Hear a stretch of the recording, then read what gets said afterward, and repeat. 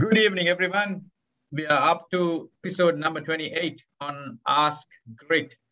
Today we have Shamal. Shamal, how are you doing? Hi, Naveen. Been really good. So, how's uh, things over there down under? Brilliant, brilliant. Going exceptionally well. All right, all right. Uh, so Okay, just uh, to uh, just to give a quick intro, uh, we I mean we use this program to answer the questions we have from our investors on a weekly basis, and we answer that live so that it can add some value to you uh, in whatever the questions you might have. And even if it doesn't, please feel free to reach us out and ask more questions, and we can uh, tackle that in another session. But we are doing that on a every week basis, either Thursday or Friday, so that uh, it will add some value. What have you got today, Shamal? Uh, well, Naveen, uh, most of the questions we have received are based from focusing on Melbourne this time around. So, Yeah. what is really hot in Melbourne? What's uh, going on? Going on in terms of the market or going on in terms of COVID?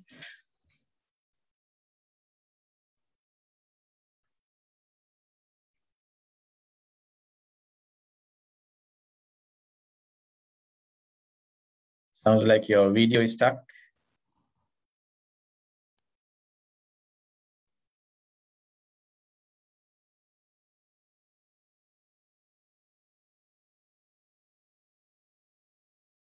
Looks like Shamal is having some uh, technical difficulties with the video.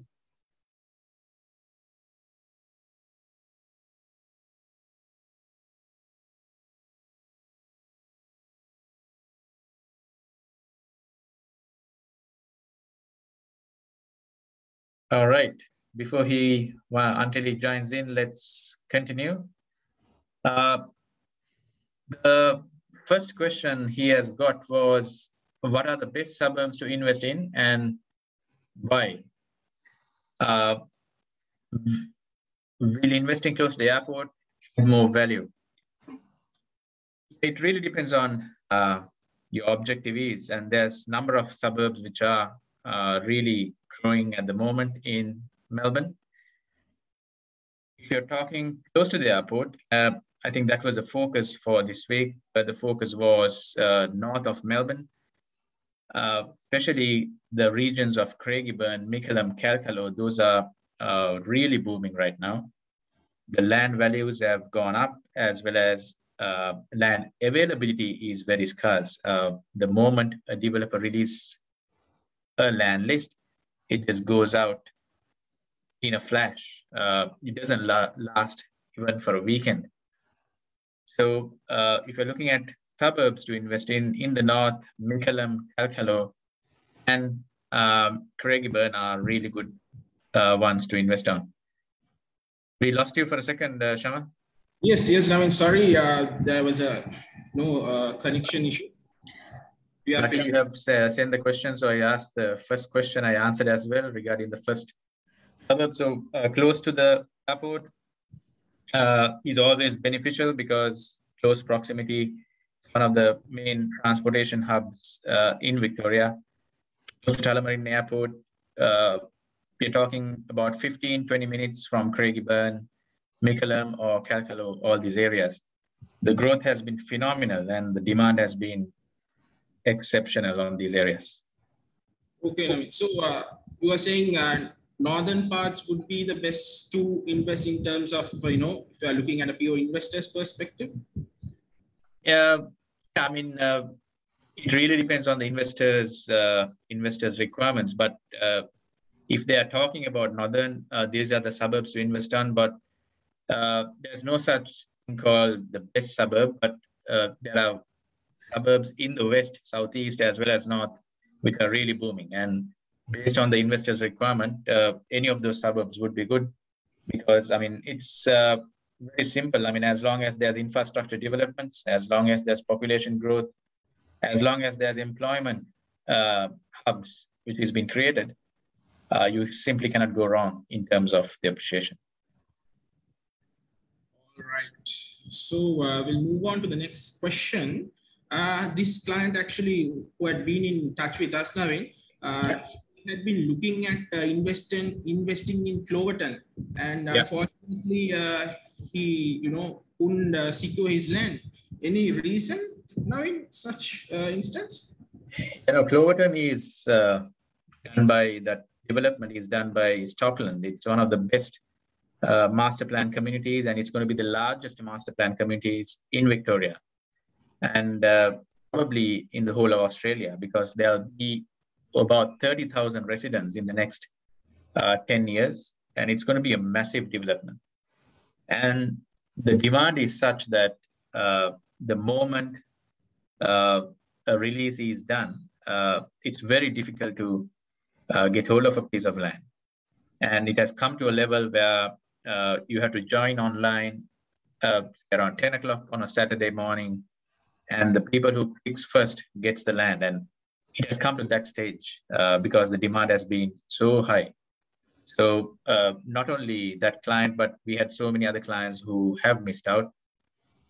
Uh, unfortunately, that is what it is. Uh, demand is very, very high.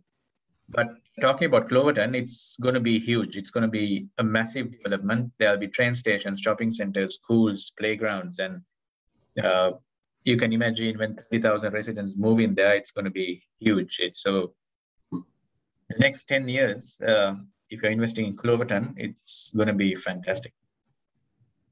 All right. So now in this, uh, as you mentioned, Cloverton uh, and these other suburb, Mickleham, are these close by?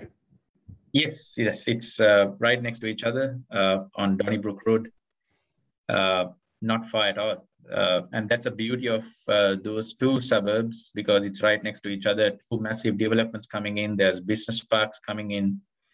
That whole region is going to really boom and blossom for the next 10 years. Okay. And also leading up to Beveridge, is it now?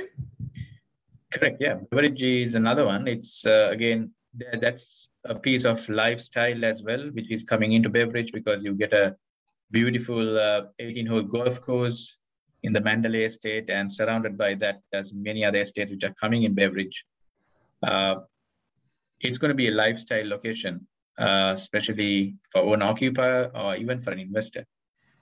But uh, Mickleham or Kalkallo would be my best bets if they're talking about the northern region. Right. So we have another question coming in. Uh, yeah. Uh, do you all uh, give a rental guarantee for the house? Depends on the location. Uh, we cannot give rental guarantees for every location, but if you're talking about locations like Mickleham, the northern region, definitely we always give rental guarantees there because we're very confident of renting them out. And it doesn't last uh, long to rent something out. A lot of people have a perception when it's uh, 35, 40 minutes, 45 minutes away, it's difficult to uh, rent things out, but it's not the case. It's uh, very easy. There's, it is so populated and uh, it will continue to grow the population with the developments coming up. So yeah, definitely uh, in Mickleham, that area, uh, that region, uh, we do give rental guarantees. Okay, hope that answers your question, Mr. Pereira. Uh, and also, Naveen, uh, another question coming in. Uh, how long will it take to get these master plan cities underway with all the infrastructure developments?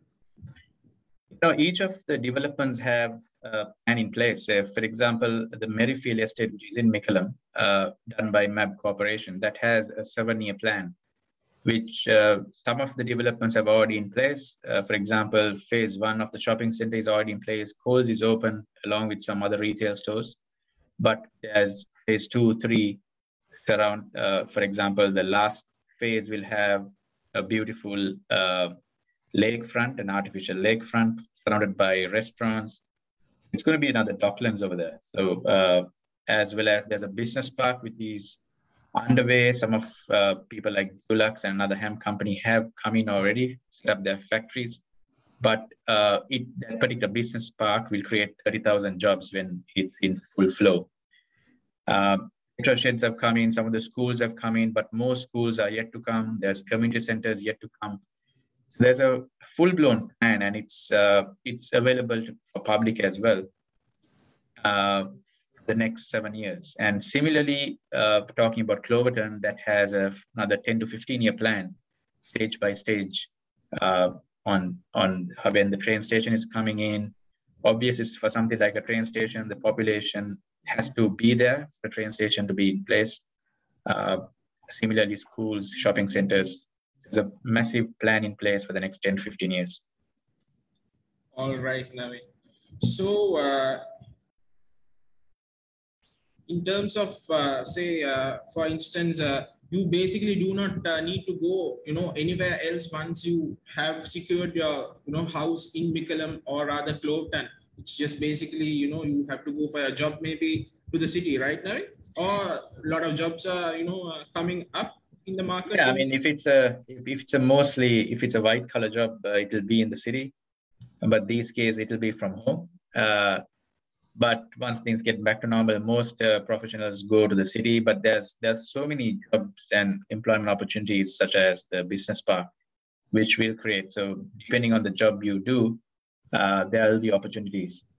Uh, it's good news for uh, owner occupier as well as an investor because uh, your tenant will have all the amenities, all the facilities available. There will not be a requirement in the next five years for them to go anywhere else because everything is in place. And uh, there's connectivity all around. So uh, as an investor, it will be good news because your tenants are well, well, very well looked after. Right. So we have another question coming in. Question is, uh, what, what would be a better investment? Is it a house and land in a suburb, as you are mentioning, or a city apartment? Again, it, it, boils down to uh, the their objective uh, uh of the investor.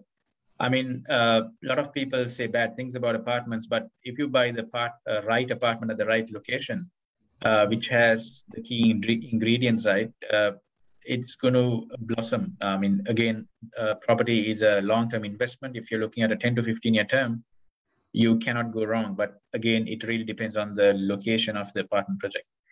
There's no right or wrong answer, Shamal, but uh, uh, the growth is high on house and land uh, con- con- comparatively to apartments. Uh, that has been a fact.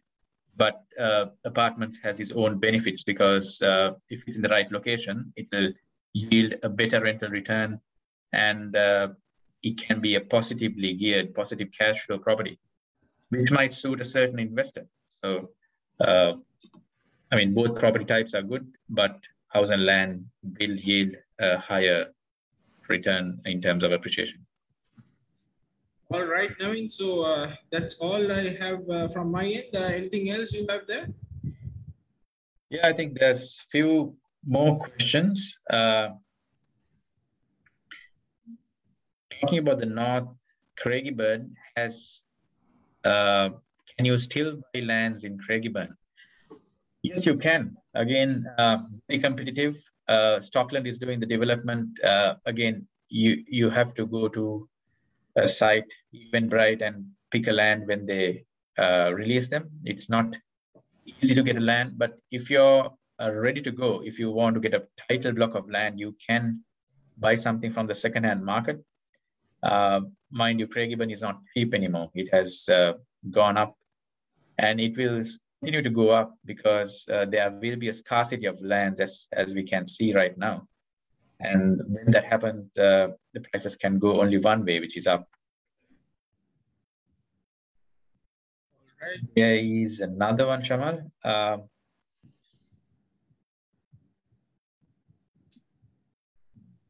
Why do you think uh, the developers have incorporated a business park in Mickleham?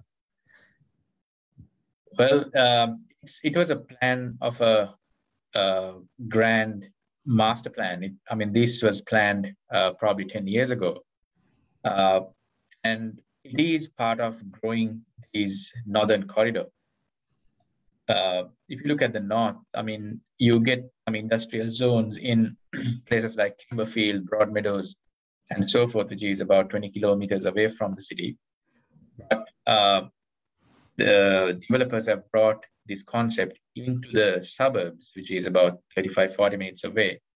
And I think it's reaping the benefits. I mean, people like Dulux won't be setting up shop um, if it's not going to work. And it's all about the infrastructure. There's so much of infrastructure and the connectivity happening. Train station is in place. Uh, and even those kind of business parks are going where the employ- employment as well as the population is growing. Uh, especially the population has been growing uh, rapidly. It's amazing. And uh, that's what they're looking for. And it's good for the commercial uh, aspect of it, as well as it's good for the suburb and uh, the investors. So it's a win-win for overall. And uh, I mean, it just didn't pop up automatically. It has been, the planning has been going on for the past five to 10 years, for sure. Okay, so uh, I have a question at the, my end. Uh, as a client asking, uh, what would you think about the western and the southeastern suburbs? Will they also have a good uh, rate of appreciation in the next five years? Uh, of course, it, they would. Uh, it's it's uh, i mean we never say it's only the northern suburbs. Uh, there's always there's similar things. Uh, if you look at the west there's so many uh, employment hubs. There's so many transportation developments. There are so many infrastructure developments. As long as we target these key criteria in any suburb uh, they will develop. Uh, if you look at the western suburb you get the westgate tunnel which is going to cut down the traffic dramatically. And then talking about the regional stuff, uh, Geelong Melbourne Speed Railway will be a game changer. So that's another very important project. At the same time, there's more shopping centers and things like that coming up in the southeast and train stations. So I mean, these are all really good projects which will drive growth, and uh, it all boils down to three things: population growth, infrastructure projects, and then employment. If you tick all three boxes, you're not going to go wrong. All right, uh, Mr. Fernando, hope that answers your question. Basically, what Naveen says is uh, you have to meet uh, all these key property market drivers for you to make a decision, uh, you know, moving forward. So yeah, that's uh, it from my end, Naveen. Excellent. Uh, hope that has added some value to you, people who are listening in. And as I said before, we are doing this every single week. Feel free to ask any questions and uh, we have also introduced for investors in Melbourne as well as uh, Sydney, Brisbane. Uh, we are going to have fortnightly sessions, mainly educational property information nights, uh, starting next week on the 14th of October uh, at 7 p.m. Melbourne time. We are focusing Melbourne uh, investors on this session, but it will go around the country. We'll be doing webinars every other Thursday at 7 p.m. Uh, if you're interested, please let us know. We'll send you a link to register. It's going to be uh, totally informational, some strategies on how you can expand your property portfolio. Uh, so hope that's of uh, use and it will be valuable. Please join us there. Uh, if you require the link, feel free to ask us, send us a message, direct message. We are on all platforms and uh, we are more than happy to send you that link. Until we meet next week, thank you so much for listening. Uh, if you're listening up later, thanks for listening again and feel free to ask questions. Catch you next week. See you soon. All the very best, guys.